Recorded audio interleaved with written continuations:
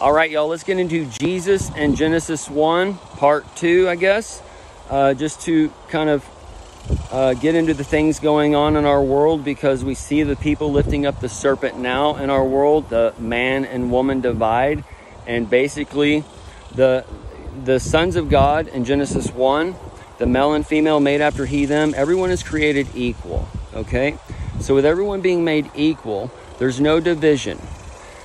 And since they had rule over everything, this is more of that hunter gatherer lifestyle. With a hunter gatherer lifestyle, you're going to be maybe all wearing bear togas, or you may all shave your head depending on the weather or uh, where you live, or you may all have your hair long or whatever. Some people may shave their whole body because they live in the tropics, and some people may grow out all the hair on their body because they live up in the northern uh, areas or whatever. Or as you follow the animals and migrate following the animals. There is no death. You are the death, okay? You are giving the death, all right? So you are that life. You are that light of this world. But with this, um, you follow the migration patterns.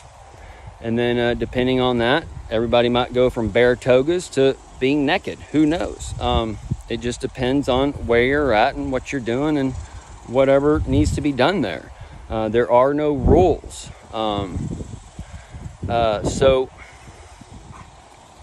if you look in the Garden of Eden, um, you see that the man and woman is divided by the rib. Okay? Now, the rib they teach us is this thing in our rib cage or whatever, all right? But that rib, with the, with, there's a rib that has a head on it, there's a foreskin, and all those other things that tie to the foreheads and all those things. But this rib that was taken from Adam is called a wiener. All right, it is a penis. So with this, you get the division. All right, you get the man versus the woman in the garden with the serpent and lifting up the serpent, and that's how the division comes. And one's better than the other because the Lord God formed a man first in the garden to have rule over the garden, and then that man came to Eve, the woman, to control Eve, and then she listened to the serpent.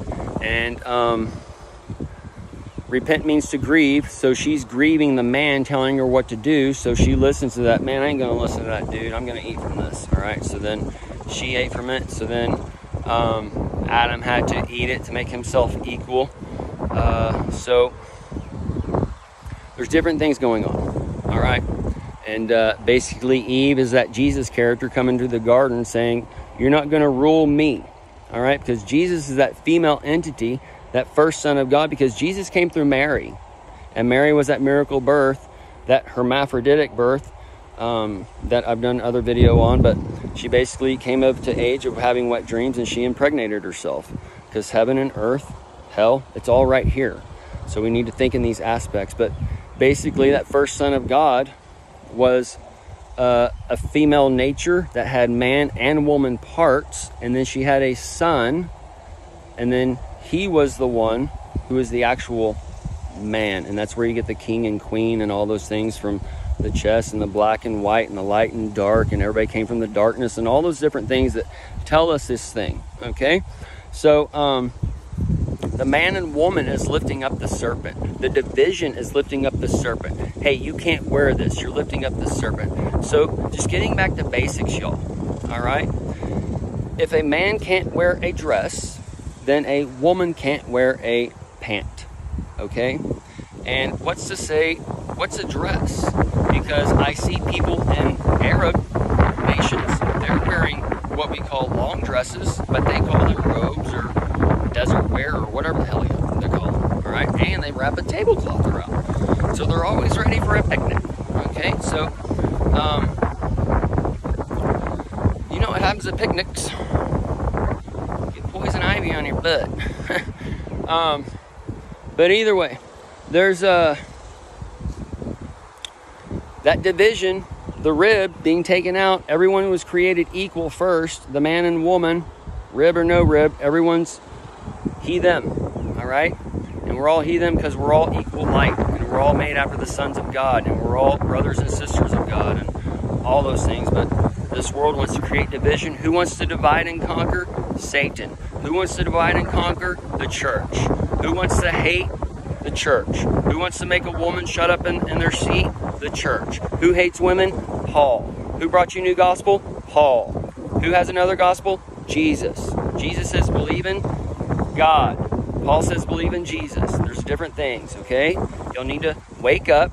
The church is the by bell, the bell worship, and it's a two-edged sword. And with a two-edged sword, you have a blade, you have a handguard, you have a handle, you have a sheath, you have a belt, you have armor, all these different things. Okay? So, but with that, Jesus is that point that can pierce through the body, soul, and spirit. And with that point, you have the beginning, Genesis 1, you have the middle, Matthew, Mark, Luke, and John, and you have Revelation. Those are the books of Jesus. All the others is um, Jew law and Jew history and prophets telling you that that Jew law is wrong and those types of things. Okay, so um, we'll end it here, folks.